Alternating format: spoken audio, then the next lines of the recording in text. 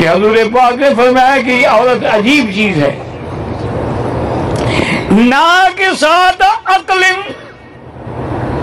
व ना के साथ दीन ये अकल में भी नाकिस है और दीन में भी नाकिस है साहब ने पूछा कैसे फरमाया, देखे ना, उसको अयाम हैज़ आएँगे तो बेचारी नमाजें नहीं पड़ेगी रोज़े नहीं रखेगी।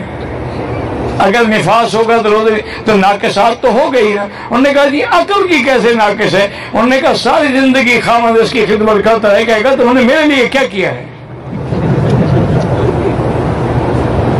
करोड़ों के जैवरात बना के दे दो क्या तुमने अपने लिए बनाया कि लोग कहें कि फला की बीवी ने पहना हुआ है, मेरे लिए थोड़ा बनाया तुमने। इतनी नाशुक्री होती है कि हर बात में इनकार कर देगी। और साथ ये भी फरमाया इतना ना के साथ अकल होने के बावजूद इतने बड़े बड़े अकल वालों के दिमाग को भी फेर देती है और काबू कर लेती है। और फरमाया ये भी याद रखो कि औरत ऐसी चीज़ है कि